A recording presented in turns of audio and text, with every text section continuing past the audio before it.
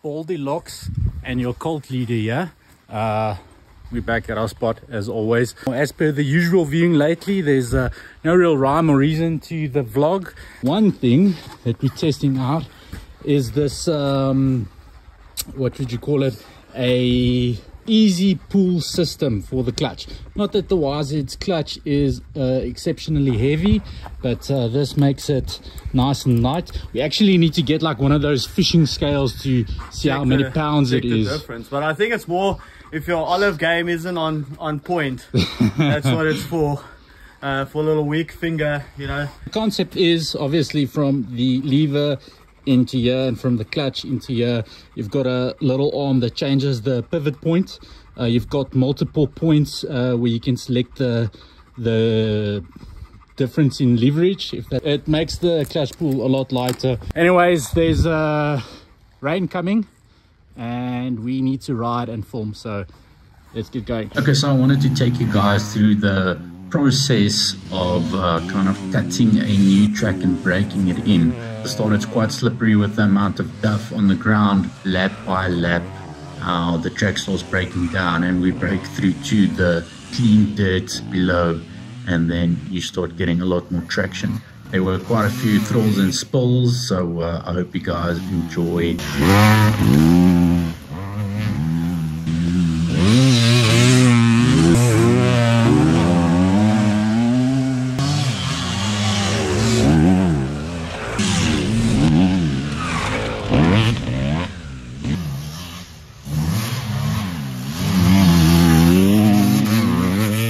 Through the first section a couple of times. We go back and talk about what we want to change, and then we actually go and remove obstacles, uh, branches that need to be trimmed. Zane is clearing out a little ditch here that was uh, kind of launching us into the tree, and I'm chopping up some roots that can get stuck to your foot and foot peg. Uh, there is usually quite a bit of manual labor involved going back, cleaning trees, clean, clearing the track and so on. After resetting the cameras, we jump right into the next section. And to get as much training as possible, we start running the entire section of the track. Then we go back all the way to the start and we run it over and over and over again.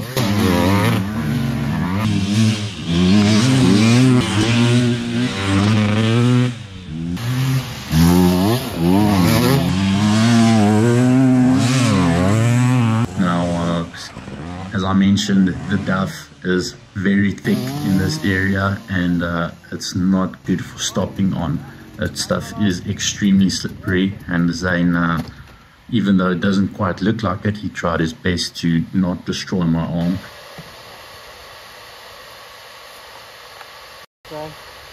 Yes. Jy val so en ek sê jy mis ry en toe gaan jy so, jy val ek voor jou in. Ja, jy raak aan vir 'n arm.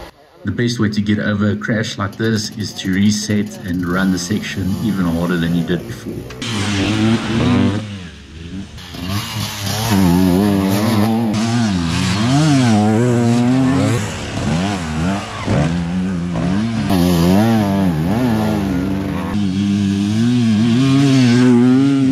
From this point on, my bike kind of started to run less than optimal. You'll see later in the video, it just starts getting slower. We eventually ended up uh, getting a rake and opening up the, the soil a bit. If your front wheel got out of the rut, that it would kill all your momentum.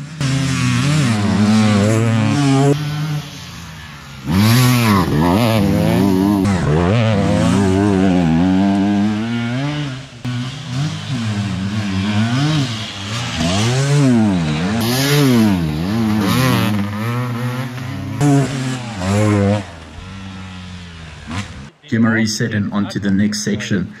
Now, this is before we did more manual labor, and as you can hear, the KT is sounding not too good. As I mentioned, we're running the whole track back and forth, back and forth. So we're starting to get quite a bit fatigued and uh, we start missing corners and the speed starts dropping a little bit at this stage.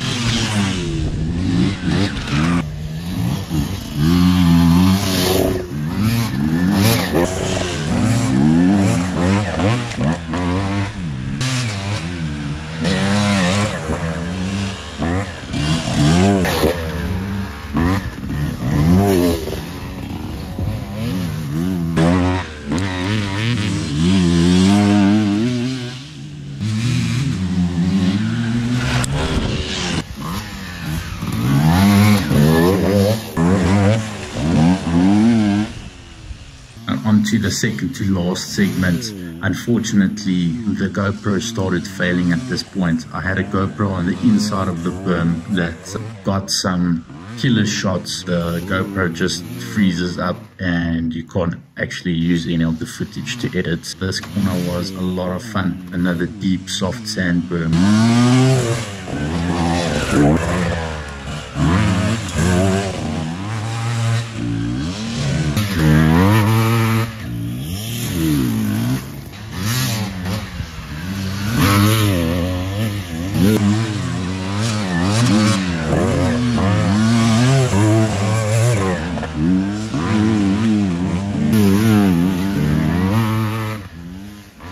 This final corner is a quick little zigzag out of the woods where you jump over a fallen down tree.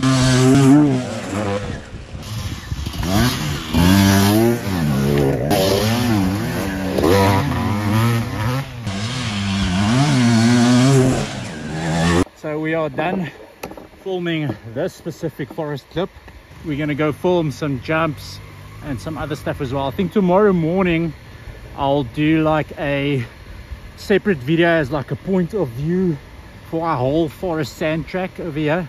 So if you guys want to come out, as you know, uh, the Bronks is open for uh, riders. Like you just have to make a booking online.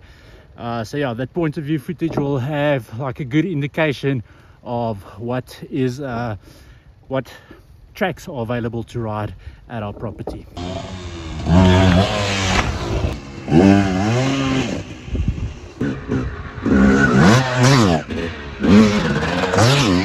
All right, so it's the next day, and uh, just as we finished off riding yesterday, uh, it started raining, and it's been raining the whole freaking evening. Like, I've almost got a jacuzzi in the back of my vehicle over here. I'm gonna throw the GoPro on my helmet and get you guys a point of view lap of the uh, track that we laid out yesterday. My brain is not working today. How are you feeling, Zane? Uh, nice and fresh and tender from uh, from yesterday's ride. Nice and rainy, and we're like, ah, maybe we shouldn't go ride. they were like, no, we're definitely gonna be riding. Uh, wet weather, it's gonna be slippery, and slip and slide. Yeah, and uh, if you're doing a race or roof or a race that if or an event that you spent a lot, oh, fuck sakes, can't talk today. If you if you're doing an event where you spent a lot of money paying entrance and accommodation and transport, if it's gonna rain, you're gonna ride. So you got to practice in the same type of climate. Anyways, what do you think? Majestic air flip.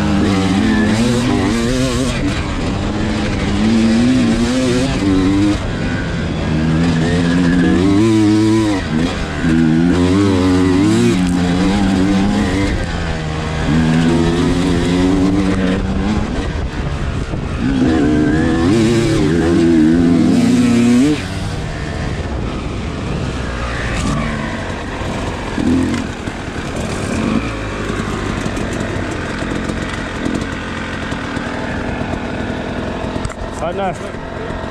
That's good? Oh, eens kijken wat wij doen. I'm way too curious to see if the KT is uh, busy eating a piston. so i'm going to pull the exhaust off and take a look up the barrel and see if there's any scoring or if there's pieces of the piston missing or the rings busy failing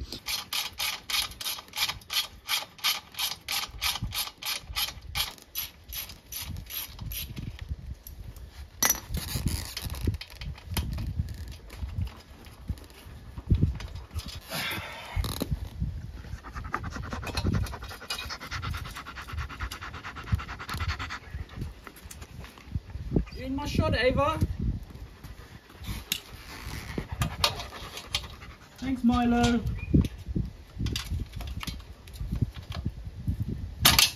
There we go.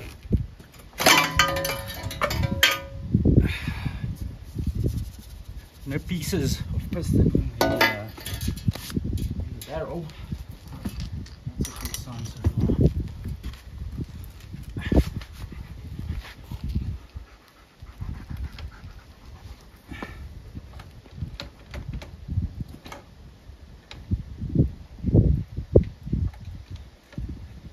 We get it to focus inside the barrel? There we go.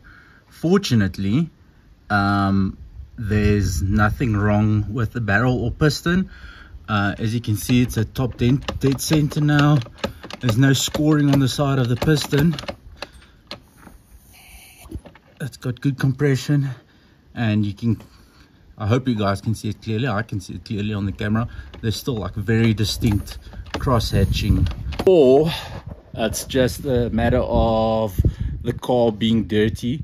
Because I mean, you can't go from the bike running perfectly with a set of jets to, you know, three rides later at running like dog shit with the same fueling, um, with the same jets in it and weather conditions that are still very, very similar. Um, so yeah uh, i guess come back for the next video where we uh, dive into this thing to see if we can find a smoking gun and to see if we can get it sorted. Anyways thanks for watching. Remember to check out the website if you guys want to buy bronks branded stuff or if you want to do custom branding. We're busy doing integrations on the website so pretty soon you'll be able to check out all the products we offer everything from custom branded apparel hats uh, bottles, you know, generic corporate gifting stuff. And if you guys are racing, we're doing pit kits. So that's gazebos, pit mats, gazebo walls, director's chairs, tablecloths, you know, everything you can possibly imagine, branded ground sales. So if you want to represent your brand at the races, let us know. We can hook you up with uh, some nice branded stuff.